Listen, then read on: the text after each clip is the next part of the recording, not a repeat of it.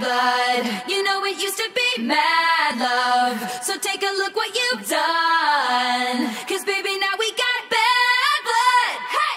Now we got problems. And I don't think we can solve them. You made a really deep cut. Hey guys, so today I'm back with another video and it is a DIY flower crown.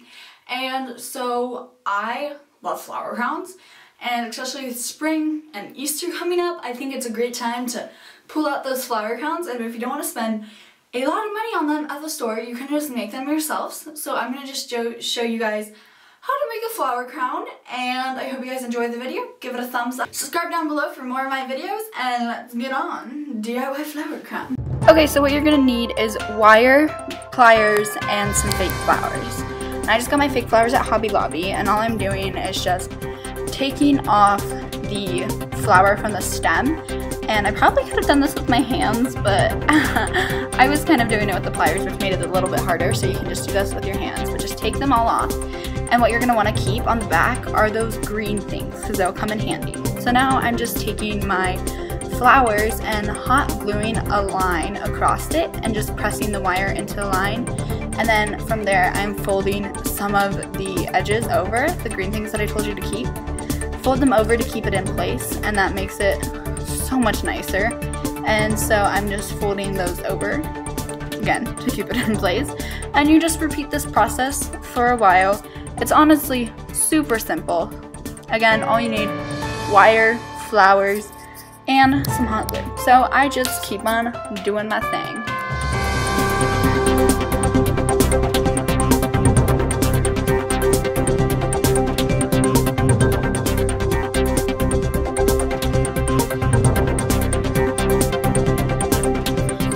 When you get to the end, you just want to tie it off in the back, or not tie it off, just like bend it together, and it's honestly super simple, and so I, it honestly comes out so cute. Look at that, that is so cute. It is great for anything.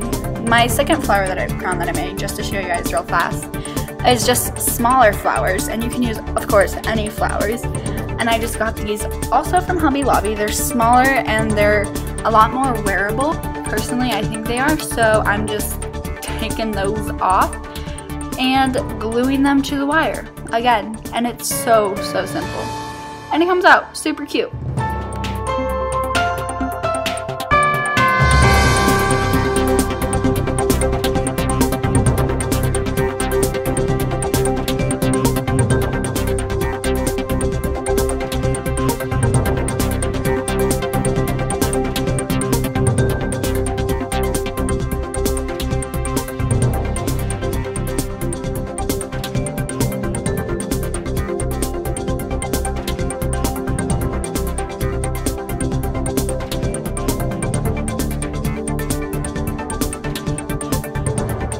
Once you're done with that too, you can just tie that one on. And I honestly love this one a lot. Um, a lot more. No, I just like this one. This one's good. They're all super cute. But um, this is how this one turned out. I think it's so pretty, so wearable, especially with Easter. It has yellow in it and spring. That's just so cute. This one is my bigger one. This is the first one I made. And I think it's really pretty, especially for photo shoots. And here are a few pictures from photo shoot that I did in it and it made the whole photo shoot come together. I think it's gorgeous. All of these flower crowns would work for it. So I hope you guys enjoyed this video. Give it a thumbs up and subscribe down below for more of my videos. Bye!